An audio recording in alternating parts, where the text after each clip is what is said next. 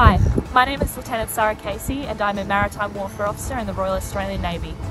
I graduated from St Aidan's in 2010 and very soon after, in January 2011, I jumped on a bus straight to HMAS Creswell Officer Training School where I started my journey in the Navy.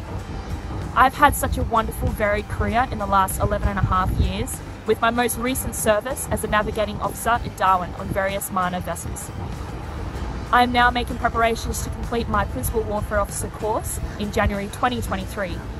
I'm so honoured and privileged to be this year's recipient for the Emma Betts Award.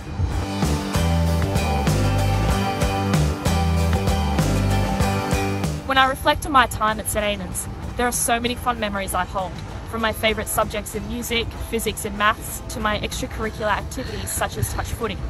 St Aidan's gave me this thirst to challenge myself and be the best that I could. One of the best things about St is the bond of sisterhood. You build this strong connection to not only those in your year level, but all girls who went to our school. The mateship I feel in the Navy is very similar.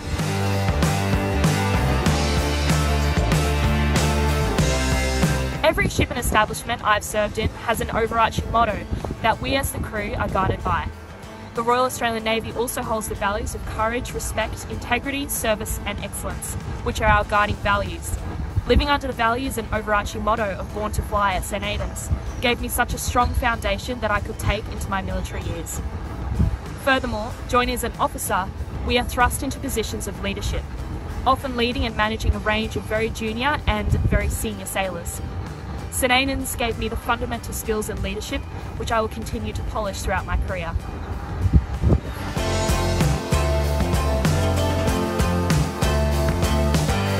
I'd like to leave you with a few things I try to live by.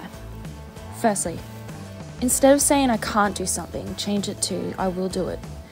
By doing that, you don't close yourself off from incredible growth opportunities and the extensive potential you all have. And secondly, get comfortable with being uncomfortable. Our greatest growth and strength comes from those times we find challenging or we fail because the greatest learning happens at those points.